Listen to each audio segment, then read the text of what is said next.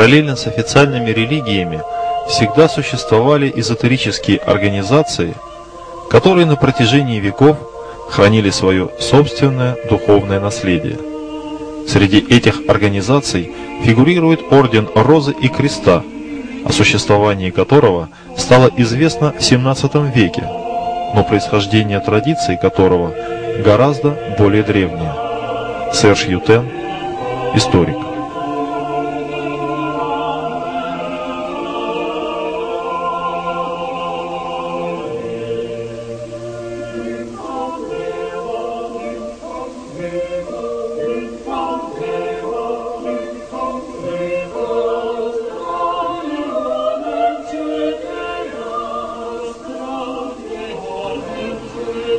Прекрасным утром 1623 года парижане обнаружили на улицах города таинственные плакаты.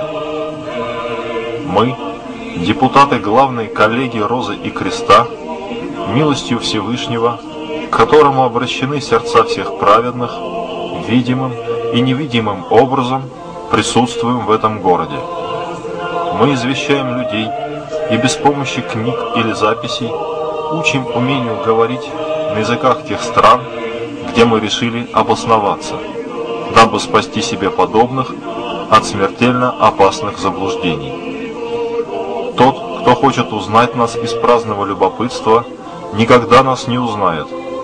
Но тому, кто искренне стремится войти в ряды нашего братства, мы, ведающие мысли, докажем истинность своих обещаний и мы не раскроем место нашего пребывания в этом городе, ибо мысли, соединенные с подлинной волей читающего эти строки, позволят ему узнать нас, а нам его.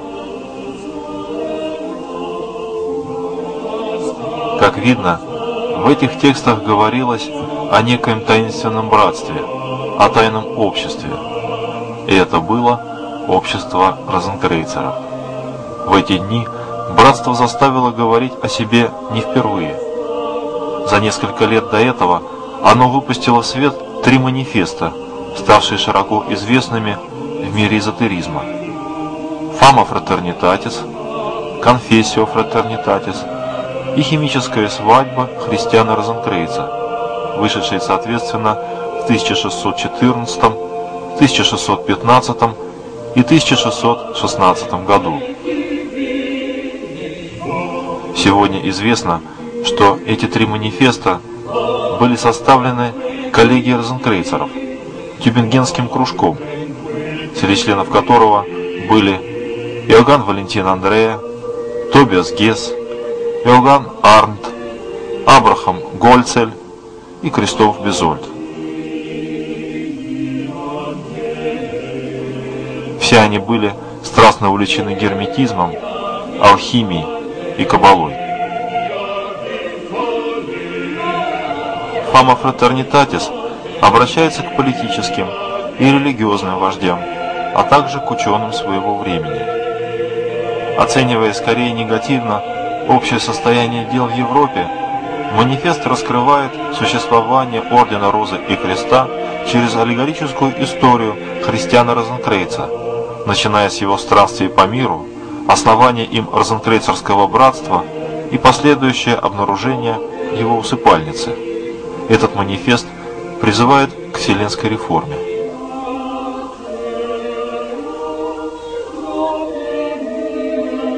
Конфессио Фратернитатис дополняет первый манифест, с одной стороны подчеркивая необходимость обновления человека и всего человеческого сообщества, а с другой заявляя, что братство розенкрейцеров обладает философской наукой, позволяющей осуществить это обновление.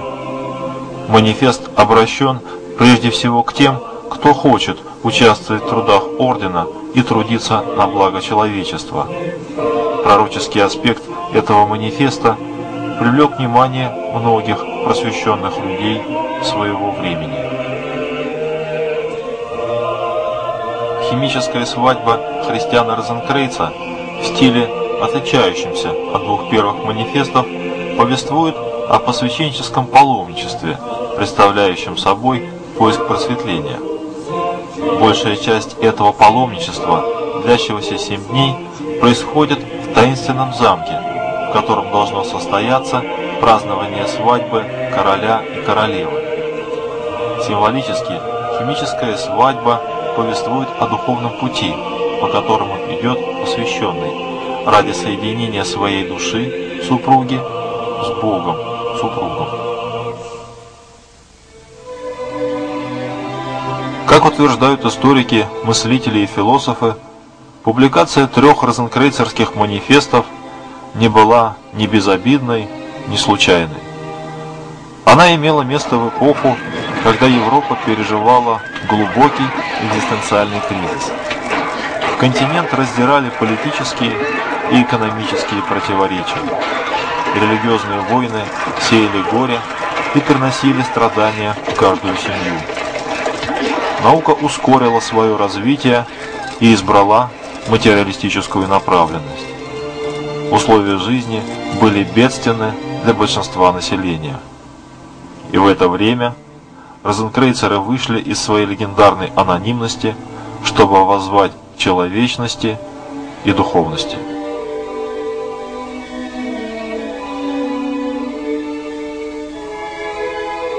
Чтобы описать идеал, вдохновлявший розенкрейцеров 17 века, приведем здесь слова Яна Амоса Каменского, которого считают сегодня духовным отцом ЮНЕСКО. Мы хотим, чтобы люди, вместе или поодиночке, молодые или старые, богатые или бедные, благородные или простолюдины, мужчины или женщины, могли в полной мере обучаться и становиться людьми завершенными. Мы хотим, чтобы они были прекрасно образованы и знали не только тот или иной предмет, но также и все то, что позволяет человеку полностью реализовать свою сущность. Научиться познавать истину, не обманываться поверхностным, любить добро и не соблазняться злом, делать то, что должно делать, и беречься от того, чего следует избегать, разумно говорить со всеми, наконец, всегда относиться к вещам, людям и Богу с почтением, а не легкомысленно, и никогда не отклоняться от своей цели – счастья.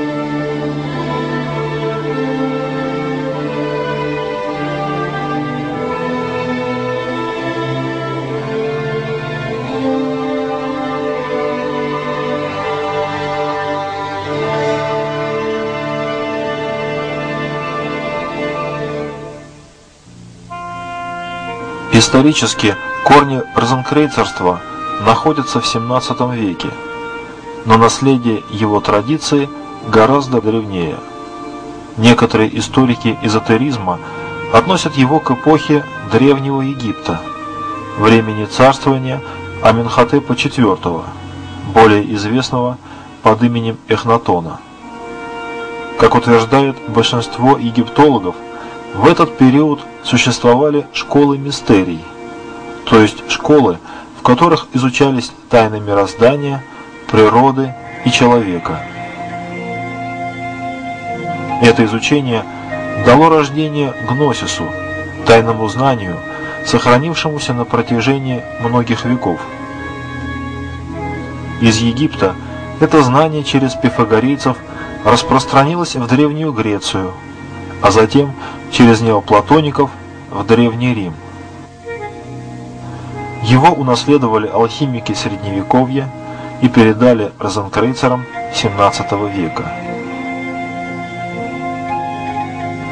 Михаэль Майер, бывший членом братства розенкрейцеров своего времени, писал «Наши корни находятся в Египте, в брахманизме, в элевсинских и самофракийских мистериях, они берут свое начало от магов Персии, пифагорейцев и арабов.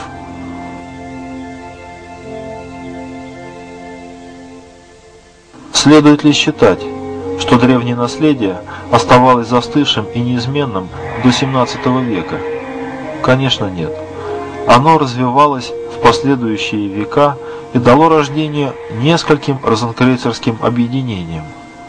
В XVIII веке самые значительные из них было известно под именем Ордена Злато-Розового Креста древнего обряда, в который входили многие известные личности, среди которых были принц Фридрих Вильгельм, герцог Фердинанд Брауншвейгский, Фридрих Кристоф Оттингер и Николай Новиков. В XIX веке наибольшее внимание привлек орден Розы и Креста, основанный Жозефом Пеладаном.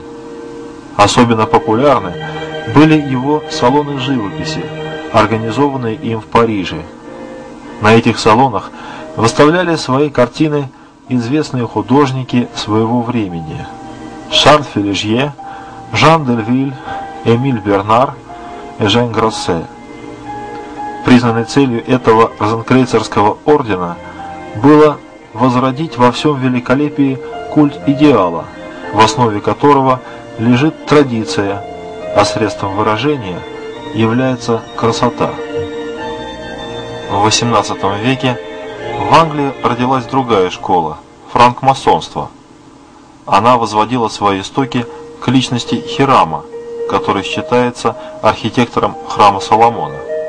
Эта школа много заимствовала у розенкрейцерства, что позволило таким авторам, как Иоганн Готлиб Бюгль и Томас де Квинси, сказать, что масонство является эманацией розенкрейцерства.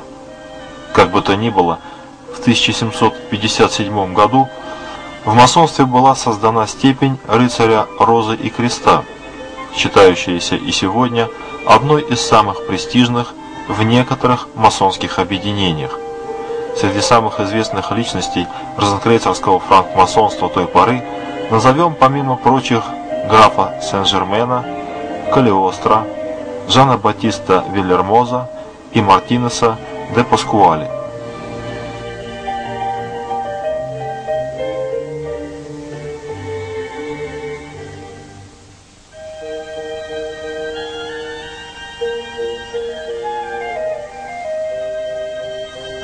С начала 20 века розенкрейцерское наследие в мире хранит Антикус Мистикускве Орде Розе Круцис, то есть древний мистический орден Розы и Креста. Открытый для мужчин и женщин всех национальностей, вероисповеданий и общественных слоев, Дморг передает своим членам традиционное учение – состоящее из 12 ступеней, которое, начиная с 1909 года, представлено в письменной форме.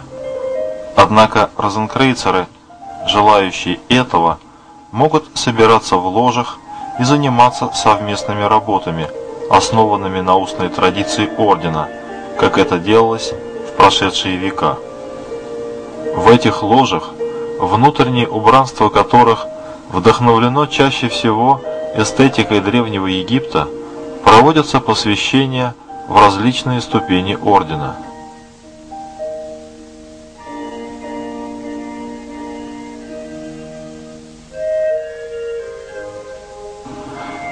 Из чего состоит учение розенкрейцеров?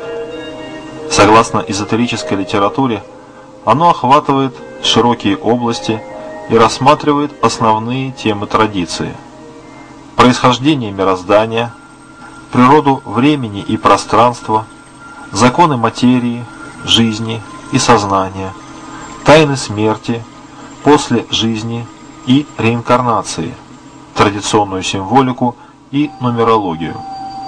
Розенкрейцеры также интересуются онтологическими связями, существующими между человеком и Богом, которого они считают великим архитектором Вселенной, то есть абсолютным разумом, лежащим в основе всего творения и всего того, что оно содержит на видимом и невидимом уровнях. В этом отношении учение розенкрейцеров в большей степени направлено на познание божественных законов, чем на познание самого Бога.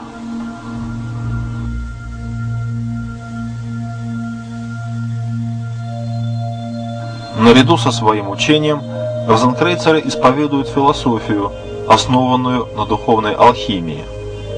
Эта алхимия не ставит своей целью превращение неблагородных металлов в золото, к чему стремились алхимики прошлого. Она состоит в превращении недостатков человеческой натуры в противоположные им достоинства, то есть превращении гордыни в скромность, эгоизма в великодушие, нетерпимости в доброжелательность. Применяя эту философию, розенкрейцеры работают над своим совершенствованием, дабы стать лучше и в своих суждениях, и в своих поступках. С точки зрения учения розенкрейцеров, зло на земле существует только потому, что люди смиряются со своими недостатками и недостаточно устремлены к добру. Гуманизм розенкрейцеров состоит в том, что они стремятся улучшить мир путем улучшения человеком самого себя. По этому поводу современный автор сказал, душа розенкрейцерства – неотъемлемая часть гуманистической и спиритуальной души Запада. Она является одной из ее граней или одной из ее драгоценностей, сверкающей красотой, любовью и чистотой.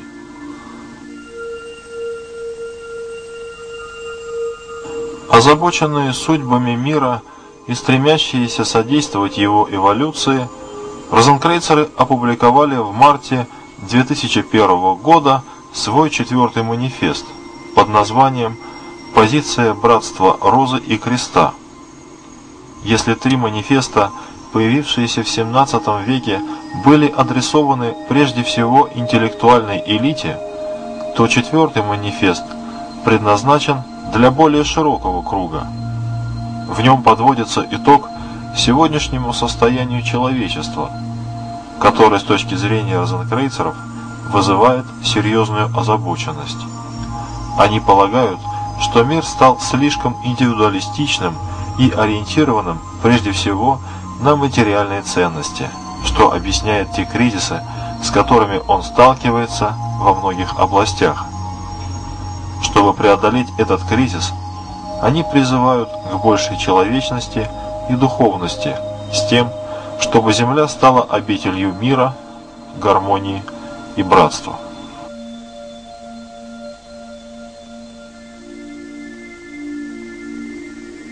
Но кто соединил розу с крестом, написал когда-то Гёте, никто этого не знает. С самой глубокой древности – Крест использовался в различных целях во многих культурах и традициях. Роза всегда была символом милосердия и любви. Для розенкрейцеров эти два объединенных символа имеют свое особое значение. Крест является символом физического тела человека, а роза – расположенная в его центре душой человека ее эволюции. Совмещенные роза и крест представляют двойную природу человека и то, что он эволюционирует от жизни к жизни к своему совершенству. Как гласит розенкрейцерская традиция, достигший такого совершенства может более не воплощаться – Достигнув вечного расцвета, роза его души более не нуждается в теле, чтобы совершенствоваться, и пребывает навеки в божественной безграничности. В этом, по-видимому, и состоит смысл таинственного розенкрейцерского выражения «ad розам per crucem, ad crucem per розам».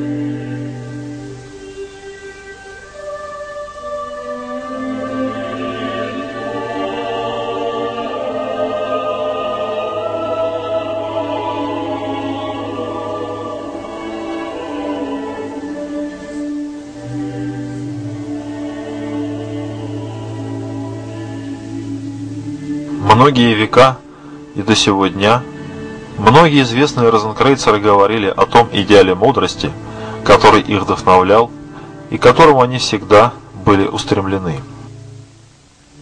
Самая большая ошибка состоит в заблуждении относительно истинной цели познания. Совсем немногие стремятся к нему для того, чтобы воспользоваться божественным даром разума в интересах человечества. Фрэнсис Бэкон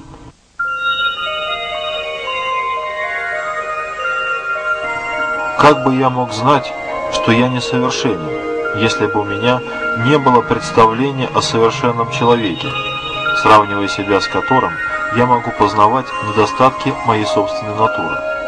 Рене Декарт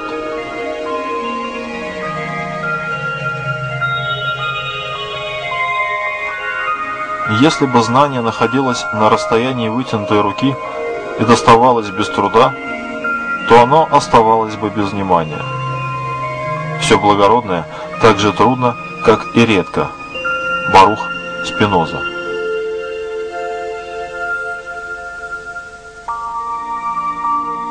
Такая невероятная упорядоченность Солнца, планет и комет может иметь в своей основе только план существа разумного и всемогущего, управляющего всем, и которого можно было бы назвать великим вселенским управителем.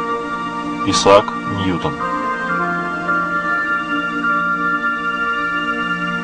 Продвигаться к совершенству – вот настоящее добро. Это значит стремиться походить на божество, продвигаться к единству творения и Творца. Карл фон Эккартхаузен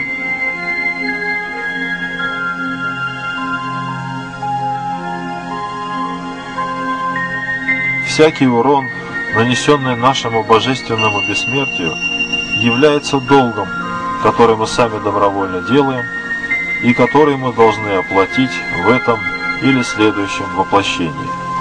Папюс. Бог дал человеку драгоценную спутницу, человеческую душу, которая не успокоится, пока человек не услышит ее и пока не поведет его к свету, который человек более или менее осознанно ищет. Мария Карелли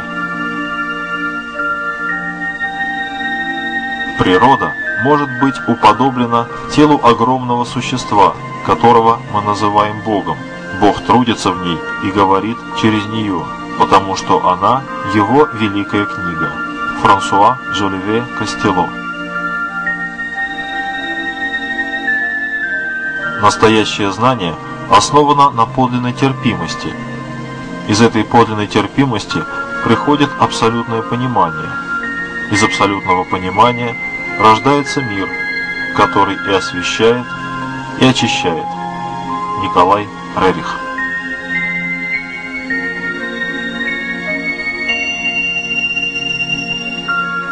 Все люди имеют общее родство, одну и ту же духовную сущность и одного Творца – Поэтому они все братья и сестры, независимо от их расы, убеждений или других отличительных черт. Гарвей Спенсер Льюис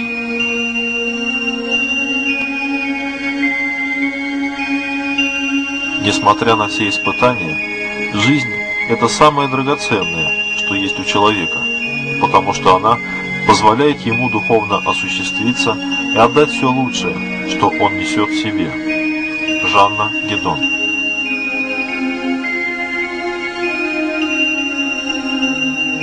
Я верю в Бога и в любовь, потому что я люблю Бога и потому что Бог позволяет мне любить. Эдит Пиаф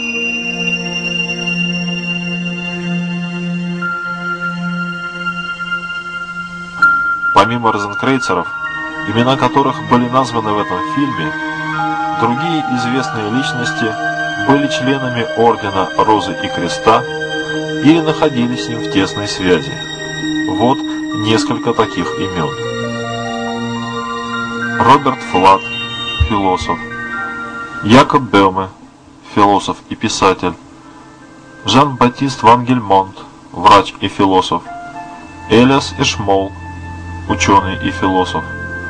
Томас Воган, врач и философ, Вильгельм Лейбниц, математик, Бенджамин Франклин, ученый и писатель, Майкл Фарадей, ученый, Виктор Эмиль Мишле, поэт, Клод Дебюси, композитор, Эрик Сати, музыкант.